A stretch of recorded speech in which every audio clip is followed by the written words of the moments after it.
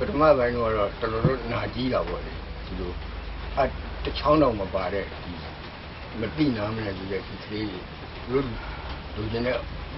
ဒီမိုကရေစီကိုတောင်းတဲ့ဥစ္စာကိုဝင်နေဖြစ်တဲ့အခါကျတော့ကိုယ်လည်းနည်းနည်းတော့သူတို့အပေါ်မှာတော့စိတ်ပွက်မိတာပေါ့အနောက်ပိုင်းကျတော့လေကိုယ့်ဘောက်ကိုယ်တော့ပြန်ဖြေတာပေါ့လေဟောသူ့အနေထားနဲ့ဖြစ်ချိန်တန်လို့ရင်တန်လို့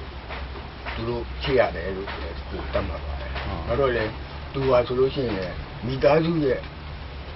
မိသားစုအတွက်ကိုပဲသူတောင်းခံတာမဟုတ်ပါဘူး။ဗမာပြည်မှာရှိတဲ့ပြည်သူတည့်ရလုံးတဲ့သူဒီဒီမိုကရေစီကိုသူတောင်းခံတယ်ဆိုတော့ခံယူပြန်တယ်ကိုယ်လည်းကိုယ့်ဘာကိုယ်တော့ဒါဖြည့်သိမ့်ကြတာအန်ဒီအနေနဲ့ရောအမေတယောက်အနေနဲ့ပေါ့နော်သမီးလေးဒီဝင်းမော်ဦးပေါ့နော်ဒီလိုမျိုးရက်ဆက်စွာပြစ်ခတ်တပ်ဖြတ်ခံလိုက်တဲ့အပေါ်မှာမိခင်တယောက်အနေနဲ့ဘယ်လိုခံစားရလဲမသိဘူးอืมကျမကတော့တမီးအတွက်အရန်ခံစားပါတယ်နောက်ဆုံးတော့ဒီလိုပဲ ကိုကိုကိုဖြည့်သိမ့်ပြီးတော့သူ့အတွက်အမြဲတမ်းဂုဏ်ယူနေပါတယ်ဟုတ်ကဲ့ခုလိုမျိုးပေါ့နော်ငယ်ငယ်ရွယ်ရွယ်နဲ့လဲလာဒီလိုတိုင်းချစ်ပြီးချစ်စိတ်တဲ့နဲ့ပေါ့နော်ဒီမိုကရေစီရရှိဖို့တဲ့တိုက်ပွဲဆက်ဝင်နေကြတဲ့ပြည်သူပြည်သားចောင်းသားတွေရဟန်းရှင်လူတွေပေါ်မှာဦးတို့မိဘတွေအနေနဲ့ဘယ်လိုမျိုးသဘောထားလေးရှိလဲမသိဘူးခင်ဗျာ။အာဒီသူတို့ကိုယ်နိုင်ကတက်ဆွမ်းဆန်ဆန်နဲ့ဒီ ပြည်သူလူထုတဲ့ဒီဒီမိုကရေစီကိုတောင်းခံပေးတဲ့တောင်းခံပေးရတောင်းရကြုံနှက်အောင်လို့လေပြည်သူလူထုတည့်ရလုံးအနေနဲ့လေဘယ်လိုကူညီပံ့ပိုးပေးကြပါသူတို့ရဲ့လူကဖြည့်ပြည့်နေခြင်းနဲ့စန္ဒာလေးကိုလည်းပေါ်ထုတ်ပေးကြပါလေကျွန်တော်တို့တောဟုင်းတ်နေကဲ့ပါခင်ဗျာဒီ စစ်အစိုးရနဝတစစ်အစိုးရကအာဏာစသိမ်းတဲ့19ရက်9လ1988ခုနှစ်မှာလာကြာဆုံးသွားတဲ့အထမတန်းကျောင်းသူလေးမဝင်းမော်ဦးကတော့တကယ်ကိုပေါ့နော်တမိုင်းဝင်ကဘာမှာရောမြန်မာမှာရောပေါ့နော်ရဲတောက်ဒီမိုကရေစီတက်အသက်ပေးသွားပါတယ်အဲ့ဒီအတွက်ကိုလည်း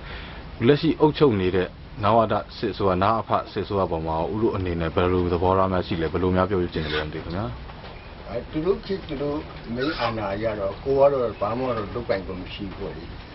ဖြစ်စေချင်တာကတော့ပြည်သူလူထုရဲ့ဆုံးဖြတ်ချက်ကိုပဲကျွန်တော်တို့မိသားစုအနေနဲ့ခံယူရမယ်လို့ပဲကျွန်တော်ဆုံးဖြတ်ထားပါတယ်ကျွန်တော်တို့ကြားသိရတဲ့လောက်လေးမြင်မြန်ကြည့်မယ်နော်။လာဒီမတ်ဝင်းမော်ဦးလာ19ရက်9လ1988မှာကြာဆုံးသွားပြီးတဲ့နောက်ပိုင်းမှာ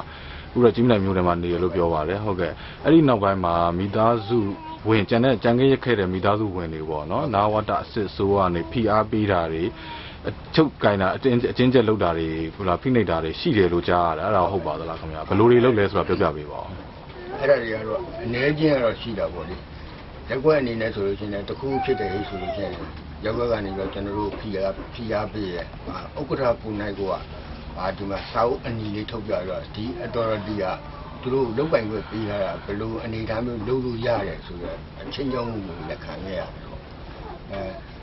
နောက်တစ်နောက်တစ်ခုကလည်းဒီအိမ်မှာအရင်တော့မိသားစုတွေက၃လေးဦးလောက်အမေနဲ့ပေါင်းပြီးတော့ညီကောင်မောင်မရနေကြတော့အတူတွေတူမတွေနိုင်ငံခြားဘာညာထွက်မဲ့ပြီးမှဆိုရင်အဲ့အိမ်လေးဆန်နဲ့ရှောက်လို့ရှိရင်ကျွန်တော်ဗီဇာပေးတာလို့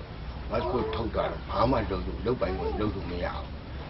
လုပ်လို့မရတော့ထွက်ချင်တဲ့တူတွေတူမတွေကြတော့လေဒီဖြစ်လိမ့်စာဒီဖြစ်တကောင်ချင်းကိုဝင်ပြီးတော့မှ